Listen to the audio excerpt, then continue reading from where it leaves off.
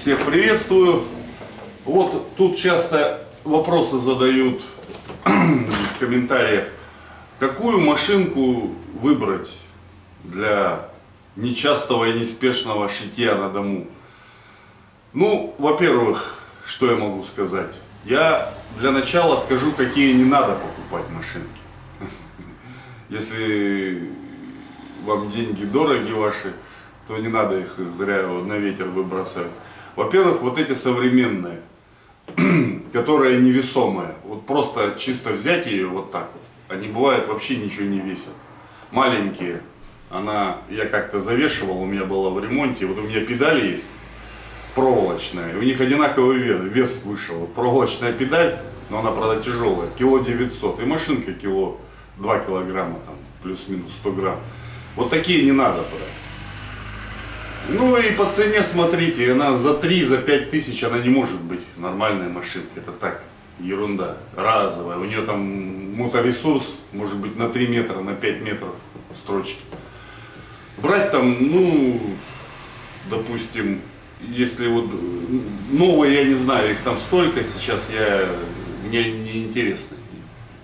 В ремонт привозят. Я не знаю, их очень много, там сотни видов, десятки, сотни.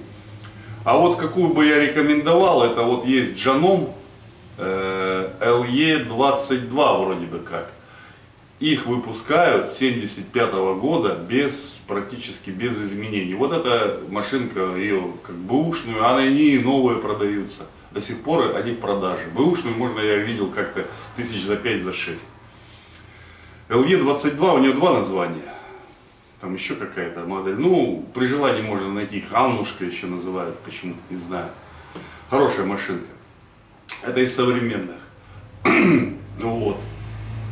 Так, из БУ советских машинок. Какие не надо покупать. Во-первых, вот, когда видите вот такую надпись, вот она, концерн Подольск, это с 92 или 3 -го года, вроде как отдали Зингеру э, и стали совместно с Зингером что-то там, ну Зингер убил полностью этот концерн потом. Зачем ему конкуренты подольские? Вот, вот такие не надо брать машинки. Это вот Чайка 134, можно 134А э, с ручкой. Можно уж, если попалось, взять просто 134, без вот этого. Они еще советские встречались и начали выпускать 134 чайки. Вот, эти не надо. И также есть прямострочки 2М, тоже такого молоткового цвета, серого. Тоже там вот эта вот метка антикачества. Ее тоже не надо. Там ну, если есть желание поупражняться в настройке, в регулировке, там день-два просидеть, то можно, можно взять. А если для практического применения, то не стоит. С ними надо много-много движений сделать, чтобы их привести в рабочее состояние. У меня много очень видео по этим машинам, так что если есть желание и время, то берите на восстановление. Так, теперь какие можно покупать. Ну, во-первых, от чайки. Первые чайки. Чайка 3. Это полного зигзага. Мальва. Ну, опять же, надо смотреть для начала на внешний вид. Вот смотрим на платформу. Вот здесь вот, сейчас я ближе сделаю. Внешний вид всегда скажет о состоянии машины. Платформа, если на ней не шили там в качестве э, промышленной машинки не использовали, тут сразу видно, что платформа нормальная. Вот Мальва, у Мальвы даже покрытие другое. Ну, как я слышал, Мальва шла на экспорт. У нее вот видите, эмаль. Если вот в таком состоянии машинку найти, так надо брать прям и не думать даже.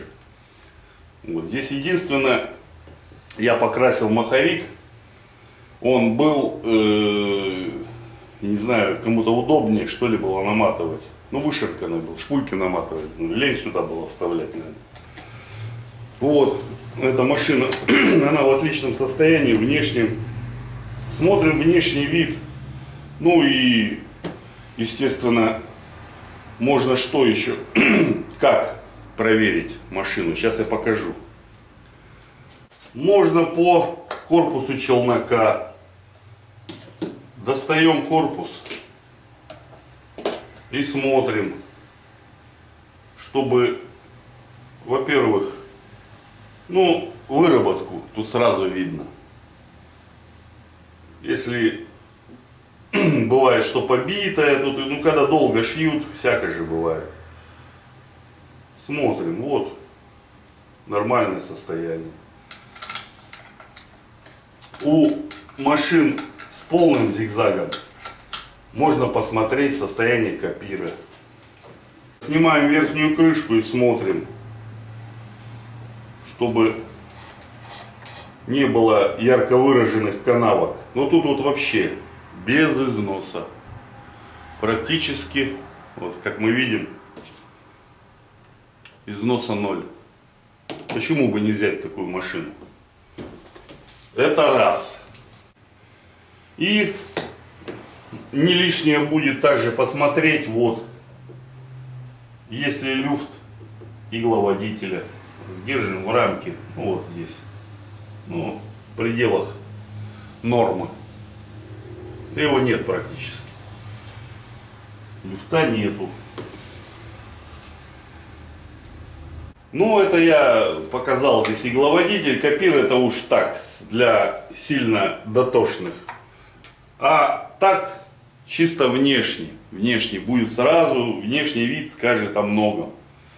Если не обо всем. Потому как, когда на машине шили по праздникам раз в полгода или раз в квартал, она будет чистенько здесь, все будет. Даже вот на колесико моталки посмотреть. По моталке будет видно. Я не думаю, что меняют, кто-то когда-то менял. Если колесико, ну вот здесь вот оно штатное, не изработанное. Ну вот такие характерные внешние признаки. Ну естественно смотреть. И вот смотреть вот эти э, катушкодержатели, чтобы не сломаны, чтобы два были потому что их э, делать проблематично и не найти их. Здесь вот одна, ну ломаются, что поделаешь. У Малевы две, тоже чтобы целые были. Ну и все по этим. Сейчас импортные рассмотрим, тоже старого образца. Импортных машин бывшего соцлагеря у меня как раз вот три представителя 60-е, 70-е, 80-е годы. Ну, Лада 237, также есть Лада 238, Лада 233, это зигзаг машин Лада 122, это прямострочка. Их много, всяких разных. Ну, вот это вот, в частности, машина у меня. У нее состояние позавчера с магазина. Тут вот небольшой скол только и то, это, по-моему, я когда распаковывал, стукнул ее. А так она была вообще в идеальном состоянии, ну и была и есть. Все, тут. Главное, вот у этих машин, это касается и веритасов, но я позже к веритасу вернусь тоже. Э, к веритасам, тут главное смотрим состояние ремня. Вот здесь вот он натянут, все, тут ни, ни провисания, ничего. Это самое главное. Потому как такой ремень не найти это раз, а восстанавливать, как вот я в интернете встречал, там варят, их снимают, проваривают, его еще снять проблема. Варят там, обрабатывают, это все ерунда, это ненадолго. Тут структура волокон нарушена, и все, его не реанимировать. То, что там в интернете я видел, это так, хрень лайки собирают там и просмотры. Это ерунда, это не работает. Если работает, то очень недолго. А так, здесь ротационный челнок. Все, отличная машина. В частности, вот эта лада для э, тонких тканей ей равных нету, можно сказать. Она шьет идеально. Вот эти стрейчи тонкие и прочее. Ну, про Келлер сказано очень много. единственный недостаток у этих машин, то, что они неубиенные, если туда сами не залезут кривыми руками, как вот в эту, не знаю зачем, залазили, сломали тут деталь, то она будет служить, это навсегда машина. Во всяком случае, на ваш век и на ваш и век ваших детей и внуков ее хватит с запасом. Тут единственная у нее беда, что она стоит десятилетиями, ее, она закисает. Машинка очень сложная внутри, там типа как часовой механизм, вот этот блок автоматики. Там до того плотно детали, и между ними, ну, старая смазка там или что, но она бывает намертво. Блок автоматики приходится откисать. Я вот, э, у меня видео есть, я где-то сутки или двое держал тут в керосиновой бане. Потом все это откисло. Единственное, вот у них что может быть. А так, как правило, они, видео очень много по ним. Ну, я сломанных не встречал. У меня их немного было, меньше десятка, но все подлежали восстановлению. А так они обычно в отличном состоянии. Бывает состояние новое вообще, тоже так же стояли. Стояло десятилетиями э, и так далее. Так, теперь к Веритасам. Вот это Веритас самый последний из этой серии 8014. Ну, его брать советовал бы, я не советовал. Машина-то неплохая, судя. Ну, вот в частности у этой шестерня у меня сколота. И сколота она почему треснула? Машина стояла долгое время. Где-то она стояла вообще в, моро... ну, в неотапливаемом, не, неотапливаемом помещении. Где-то она, ну, это не от эксплуатации, а от от хранения. Ну а так она машина неплохая, в принципе. В принципе, неплохая. Но я бы лучше взял 60-х э, годов. 8014-35, 8014-26 есть, и еще какие-то, я же не помню, их много. Но они вот такие же полукруглые, как типа Келлера. И все металлические. Но вот у них опять же, опять же надо смотреть ремешок. Вот здесь, как вы видите, он белоснежный. Вот если с таким ремешком попадется машинка, я почему и сказал, что эта машина шестерня лопнула от э, нечеловеческих условий, как говорится, хранения. На морозе там перепады температуры, ну и она крякнула сама по себе. Вот. А здесь ремешок, как вы видите, белоснежный. Вот. Тоже тут ротационная челночная. Отличная машинка, но надо смотреть индивидуально. А так она очень функциональна. Здесь такие есть виды строчек, что для 80-х годов для 80-х годов это очень и очень. В частности, здесь есть вот усиленная, тройная, где-то она вот, я забыл, где она, но она есть здесь. А, вот, домашний оверлок, усиленная строчка тоже здесь есть, вот она, э, вперед-назад, тут за счет продвижения.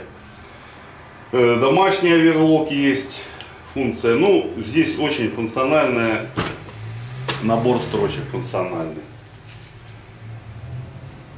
Ну вот, этот разговор о выборе машин, он бесконечный, потому что машин сотни видов всяких разных, это можно растянуть. Ну а вот так коротенько, коротенько, э, какие у меня были примерно, я показал, что и как. Но при выборе смотрите внешний вид, он скажет о многом. Ну, естественно, прошить. Машина должна шить все функции, все строчки выполнять там, если чуть-чуть там натяжение нити, там это ерунда, это все делается, это сам, самой швеей все регулируется. А так смотреть, чтобы строчка была.